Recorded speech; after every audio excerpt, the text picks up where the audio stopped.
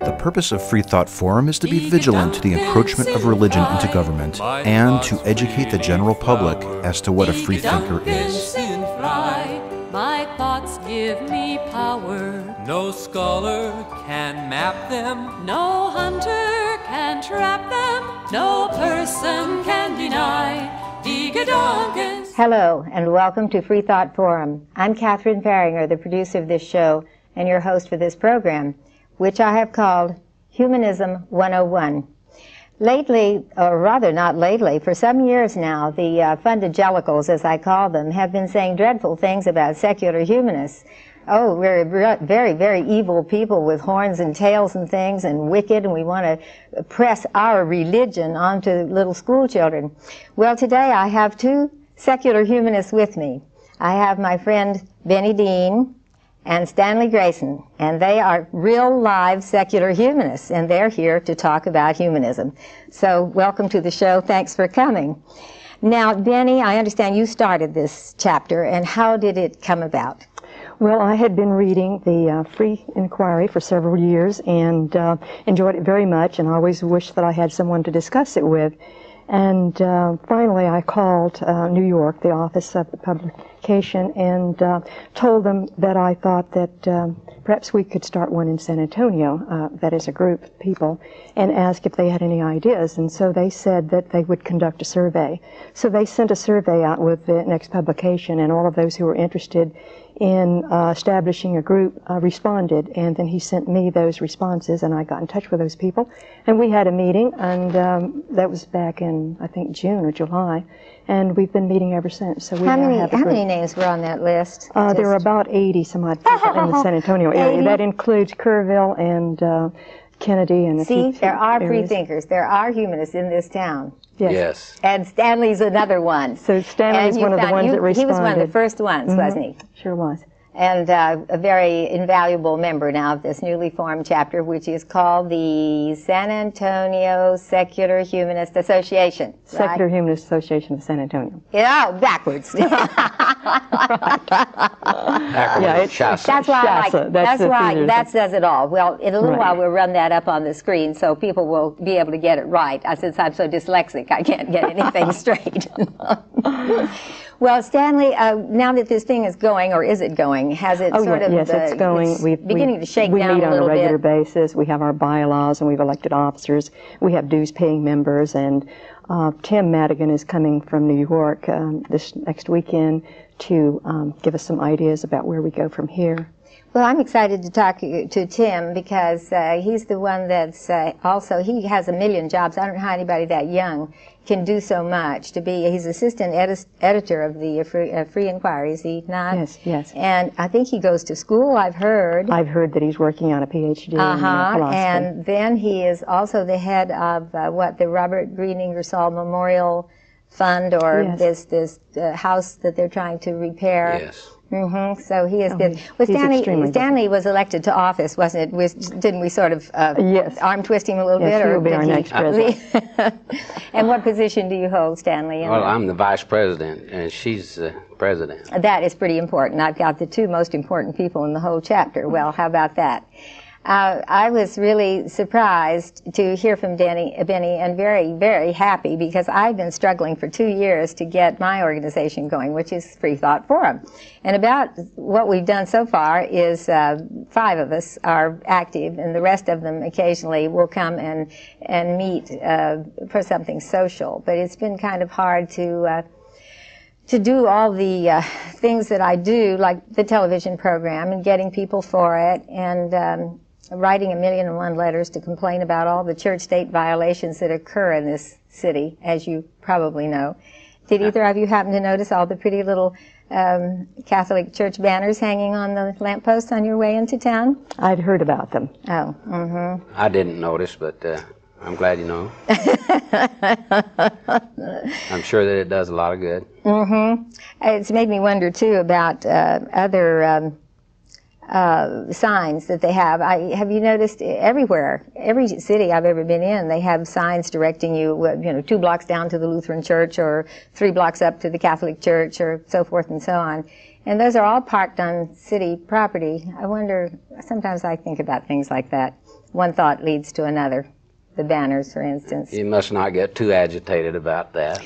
Well, I'm the- glad you have time to do those things. I don't. Well, the trouble is, it sounds so petty sometimes, I know, but what's happening here and has happened, there haven't been any humanists that were outspoken out of the closet. There haven't been any freethinkers, avowed atheists that have stepped out of the closet to say, now we do have this little thing in the Constitution about separation of church and state.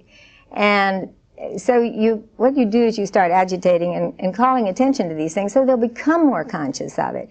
It's not that I consider this the end of the world or anything. It isn't. There are more, there are more important things. But one has to sort of take on the problems as one comes across them and address them as well as one is able to without being able to hire an expensive attorney uh, or oh i had something marvelous for you it was in the paper. Oh where is it? Where is it? Will y'all tell me more about tim madigan's trip while i look for my this marvelous cartoon that i've got that of course i could not absolutely um, ad lib for love nor money but tim is coming on the So Tim is coming on Friday, the 16th, I believe that's the date, and we have um, oh meetings set up for Saturday, and uh, and then we'll do some things on Sunday. He has to leave Sunday afternoon late, uh, but we intend to utilize all of his time and pick his brain and find out what we in San Antonio can do Right. to uh, make a, make us a really viable organization here and very active because there are so many areas that we're interested in that would that we think that we could uh, make a difference in. What in particular have you thought about your your activity of uh, as a as a group? What sort of things will you address? Well, go ahead, Stan. Go ahead. Well, it's largely undefined at this point uh, because we're a fledgling organization and there are studies underway to try to decide uh, where we could uh, uh, be most influential. Uh, obviously, our thrust is uh, uh, toward a realistic and scientific approach to life, and uh, uh, we would do uh, as much as we can in the area of education along those lines. Well, I hope that some headway will be made. I've, all I really dream for is the day that that people who don't um, the, who don't believe in that higher power are not sneered at as being odd and and weird and all that. And instead, it's the other way around, really. But it um, in, lacking the cartoon. Here is something just you will treasure this. The Bible made her do it. A woman was locked in jail because she said the Bible forbids her to pay her attorney. you better watch those Bible readers. I tell you, you're not going to make much money. Isn't that a riot? Yes. Well, you know, you can use that that as an excuse for avoiding or doing anything. I mean, just think of the people that go out and kill people and say God made them do it. Um, I know. Well, the, the Free, um, Freedom from Religion Foundation has little stickers that you put on Bibles, and it says, uh, you know, a warning. It's a warning label that uh, the contents of this book may be dangerous to your your uh, mental and physical health. And it, it is true. All that thing people have actually, where it says, uh, if your right hand offend thee, cut it off, and if thy right eye offend thee, pluck it out. And people have actually done those terrible things. well, those who are inclined to take it literally, I think, are very, very dangerous. Uh, I mean, it could uh, they could do a lot of things and I just think- attribute it to the Bible. I'm sorry. I, I think uh, um, most people don't really think too deeply about those things, and they're culturally uh, reinforced uh, by some uh, suppositions about the way this country came to be, beliefs that uh, are not necessarily true. Uh, uh, fairly typical and popular myth is that this nation was founded on a belief in God and and uh, and it's a religious nation. Quote at the time of the uh, Constitution being signed, seven percent of the population was all was affiliated with any organized religion. That means that 93% of the people at that day, in quote the age of enlightenment, were not affiliated with any church. What so this is a popular myth. It certainly is, and one that keeps being repeated and repeated. And if you repeat it often enough, it will be believed. I have a terrible problem with people that write letters to the editor to that very thing. This country was founded under God, and this was, it was founded with the Bible as being the guide for the writing of the Constitution. Well, eek! I didn't know the Constitution said anything about stoning people to death and stuff like that, which the Bible does. That's right. And then there's some other things. Uh, uh, for instance, uh, uh New York City uh, uh, once was New Amsterdam when it was originally founded. Happened to be a fortuitous harbor situation where the fur trade could take place.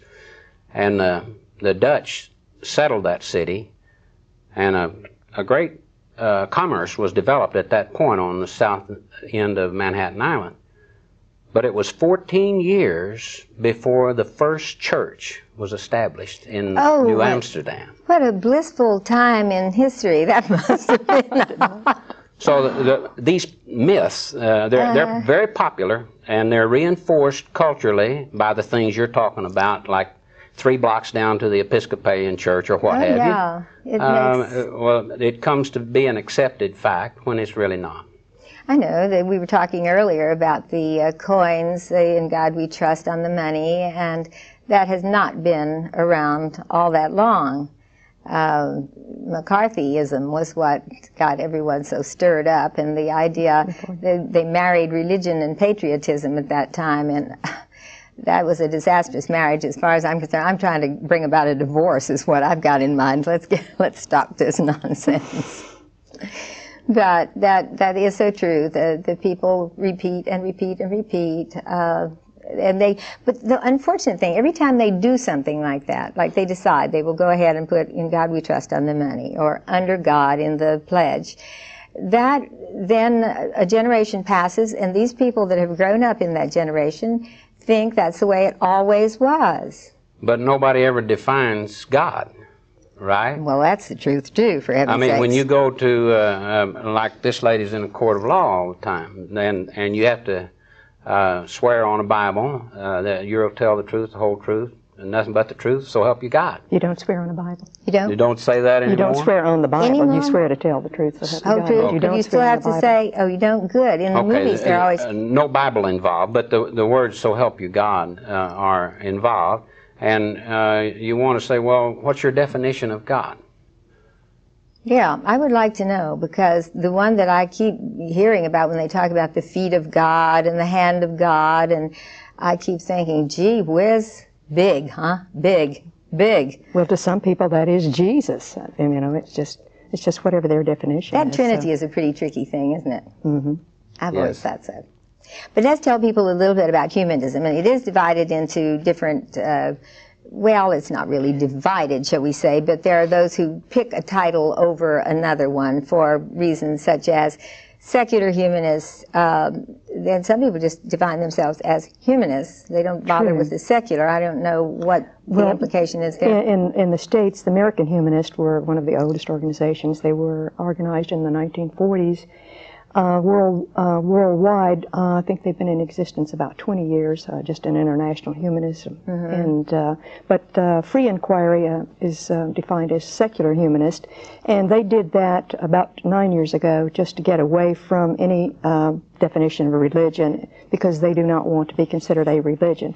And in fact, the American humanists um, have one aspect in that they they call themselves religion, that they are defined as religion, so that they can perform certain rituals, um, like well, marriages and. Yeah, well, we do need something like that, but it's a shame to have to affiliate it with a religion in order to do it, don't you think? Mm-hmm. Because well, that's because uh, that's required by the. Um, uh, some of the laws require that they be performed by um, persons uh, with a with a religious background. But and, why? Uh, you couldn't just get married in a church and not go to City Hall and sign all those papers and things, could you? I mean, no, no. You have to have a you have to have a license, but then uh, a minister has to a minister or um, say an officer Let's, of the court has to perform the ceremony. Yeah. Well, how did that happen? I mean, the minister thing. I can understand the justice of the peace or something like that, maybe, or, but why can't we have things our way, Stanley?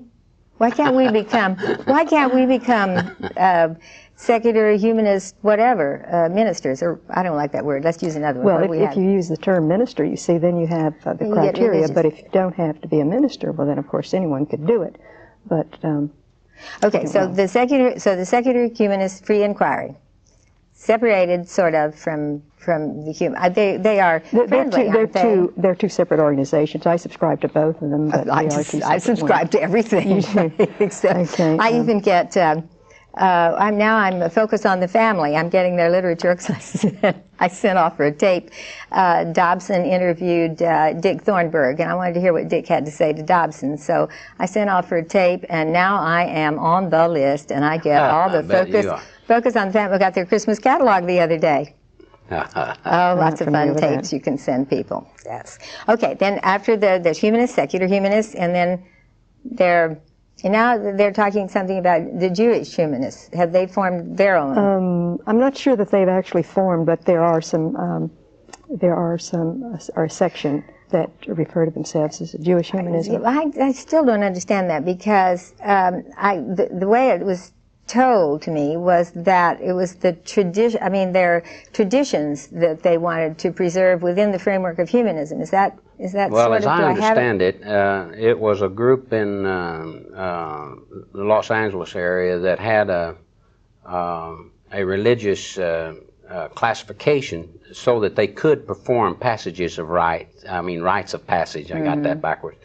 Um, Dyslexia. We're both dyslexic. and um, um, and there is a um a vote taking place right now in uh, uh, the Humanist Association uh, that that deals with absorbing those people uh, and doing away with another part uh, of the, the humanist group so that they can retain the ability to have these uh, rights, uh, but as a kind of a separate entity Mm-hmm. Within in the overall words- umbrella operation. Well, I think that would be better. I know that the humanists did make some mistakes. They've admitted that they made some mistakes when they uh, they took their tax exemption through, I think, a religious. Uh, Well, that a- was a small group. That Oh, was wasn't it? the entire group. Oh, okay, okay, right. That's that's what what this uh, reorganization is all about. Mm-hmm. Because there was a, a reaction to the idea that humanism uh, could be quote religious. Well, there is a group I know in that film, um, the tape video that uh, Isaac Asimov did. I think he talks about religious humanists, and that leaves me sort of.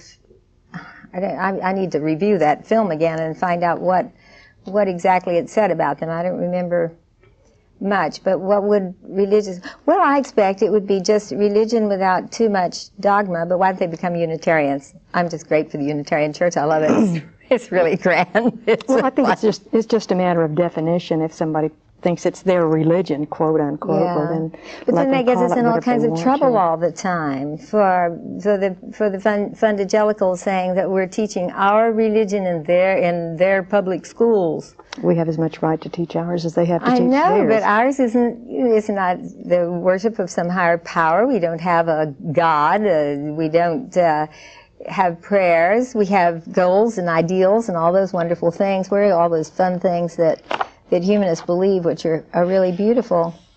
Um, and yeah, here we are, some of the things. Okay, an affirmation of humanism. Now, there's some really nice things. We believe in supporting the disadvantaged and the handicapped so they will be able to help themselves. We uh, attempt to transcend divisive parochial loyalties based on race, religion, nationality, creed, class, or ethnicity, and strive to work together for the common good of humanity. I can't think of anything more uplifting than the affirmation of humanism and the what is humanism. It, it, humanism. Um, humanism is in tune with new technological developments. Humanists are willing to take part in emerging scientific and technological discoveries in order to exercise their moral influence on those revolutions as they come about. I cannot imagine how anyone in a so-called religious context could attack such noble statements and such uh, as these.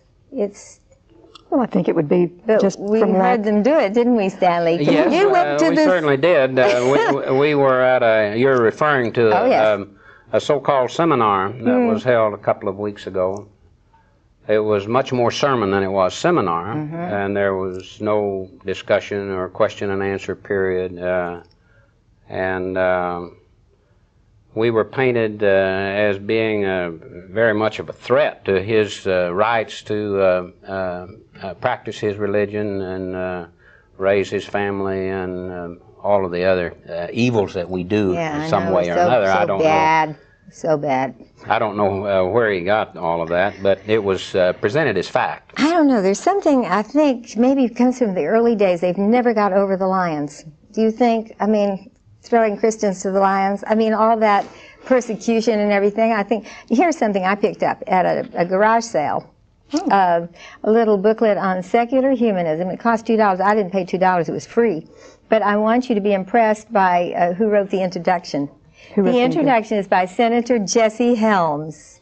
Does that give you a kick? Mm-hmm. The most dangerous religion in America by Homer Duncan, whoever Homer Duncan is. But Senator Helms said, I urge you to invest the necessary time in pondering this thought provoking analysis. I haven't read it. Of course, when I saw it was anti, I wasn't much interested. but there you are. Those guys stick together, and Jesse's back in again. Well, they probably are threatened by anyone who um, uses reasoning as opposed to irrational. Yeah, you're supposed thoughts. to have that leap of faith and just just trust. Just mm-hmm. trust. Yeah, well, they, they, could not stand that type of a inquiry. I'm, I'm it's afraid. a daring way to live. Yes, and we don't go out of our way to threaten them, but no. apparently we are being taken that way. Well, as I say, they enjoy, uh, I find they enjoy uh, waging war. That onward Christian soldiers is mm-hmm. really ingrained. And uh, if they haven't, now they've lost their communist, the evil empire. That's mm-hmm. sort of dissolved before their very eyes. Well, they can ply the, the fear and guilt trade for quite a while. Yeah, they're good at that. I always have been. Yes. Of course. Mm-hmm. That's that's my objection to it. Is I hate to see them indoctrinate children into that hell, fire, damnation type thing. Robert Ingersoll was trying so hard. He thought by now, a hundred years later, that we would be away from all that. Mm-hmm. But he was wrong. Well, he underestimated. Yes, the tenacity of Jesse Helms and people like that. Oh dear. Well, I had an idea for one of your projects, I think, for your chapter. There is um, a, an ecumenical center for something. It's out at the medical center, and I gather it's um, a ministerial type thing that has many, ecumenical, right? Many religions that, like these awful people that run around when you're sick and you're throwing up and they want to tell you Jesus loves you. Um, I have a terrible time. Every, I don't know about you in hospitals. Oh yes. Ah, uh, Beni, same thing. Yes. Ugh, they do, and they don't have any uh, sense of decency. They just come barging right on in. I think they're voyeurs. I don't know how you define it, but it, they are a pest sometimes. Mm-hmm. Well, I thought that maybe we ought to go drop by the Ecumenical Center and say, if you have any free thinkers or atheists or agnostics or whatever who sign up to be sick, to be in a hospital, that we would be hmm. happy to send a representative from the Humanist or the Free Thoughtist Forum to, to visit them and cheer them up. Well, Wish we'll look well. into that. I think that's a nice project, don't you? Possible. I don't know. I think we maybe could spend our time doing something more meaningful. Oh, I think that's terribly meaningful because I think wherever you can put a foot where all those other feet have trod over the years and made it their territory, like anybody's hospital room is mm-hmm. fair game if you've got your collar turned around backwards. Um, I just, um, I think that's embarrassing, an embarrassing intrusion, and, and they have the nerve to not even knock. Yes. I'm not familiar with that. So, well, what are some of your, uh, then, what, what would you say would, would be some of your number one priorities as a group? Well, I would like to see us become more active in the community so that we're recognized yeah. for our good deeds and the right. things that we are mm-hmm. doing so that everyone recognizes that we don't have three horns or yeah. whatever they think that humanists have and that we are an alternative to people who uh, have this great need for some kind of religious dogma because we have our own um, you know, high code of ethics, very high morals, and uh, we um, look at the world, the entire world. I mean, we, we consider ourselves members of the universe and citizens of the universe. And so we're interested in environmental protection and um, uh, children being free from uh, the dogmas of uh, some of the religions that would impose their their views, and so that they can be uh, healthier from a psychological standpoint. Uh, we're just very humanitarian, whatever that, uh, I mean, all that that encompasses. We, we believe in humans. We believe in life now. Mm-hmm. And, and, taking care of people and caring not now, fearing. not putting it off till mm-hmm. later. And we also believe uh, that if the problems of the mankind are going to be solved, they're going to be solved by humans and not by some supernatural being. True. I'm always amused, uh, not amused really, that's hardly the word, but when someone has been, say, missing and they are found and they are ill and they put them in the hospital and they do all sorts of wonderful uh, technological things. The medical field is just all out. Everybody is doing everything possible. And then the, the mother or the father or the husband of the victim says, I prayed and look what God did. And I think that's a slap in the face to all the doctors and nurses and the hospital team that worked so hard to to save this person, to all the people who looked for the missing person, to, to everybody who contributed to the, the good result, guess who gets the credit? That's the way it works. Doesn't seem right to me. And that's, that's what I meant a while ago about the cultural reinforcement. Uh, well, we, I wanted to run your address up on the screen, uh, and I hope they're, they're doing that so that people will know how to get in touch with your your organization in case they want to join. Since I haven't been inundated with, with pleas to join mine lately, I haven't had a call, and I haven't even had a crank call since last February. Isn't that amazing? But I think, you know, that to me shows progress. It shows that they are maybe beginning to accept me as a person. Annoying, maybe at times, and maybe a little abrasive, but not as a real, um, a real threat to their well-being, which I certainly am not But they certainly make me a little nervous. But and then some of the um, um, magazines too. I thought we might might show uh, um, a um, free inquiry and and I went to the uh, Ted Turner, the humanist. Uh, the camera come in and show these good close-ups on the free inquiry and the American Humanist magazine. And I went to the, the Ted Turner thing. That was great. He was wonderful. I was hoping I'd get to give him mouth to mouth resuscitation after that terrible dinner. Oh, it was enough to kill a horse. I don't know where they get those awful meals at those conventions. Really, they're just terrible and cost a fortune. That's what I do. Um, Where's the next convention going to be? Uh, which one? For Freedom from Religion mm-hmm. Foundation? It's going to be in uh, Madison, Wisconsin um, next year, next October. Because the reason being, we now are people of property. We have a free thought hall. There's an actual building, and it's right on the city square, right across from the Capitol. And it's uh, an old building. It's over 100 years old, I believe. Very good. Uh-huh. Isn't that Wonderful. nice? Yes. It makes you feel good to know. It's like, I can see how these people like having their churches so they can have church suppers and things. We won't be having that, but, but we have a place to go and there's a library. They have a wonderful collection of books. And, um, and I think I'm being told we're out of time. Can you believe that? Is it true? Is it goodbye? for now from Free Thought Forum. See you next week. I think as I please, and this gives me pleasure. My conscience decrees, this right I must treasure. My thoughts will not cater to duke or dictator. No person can deny, Decadunk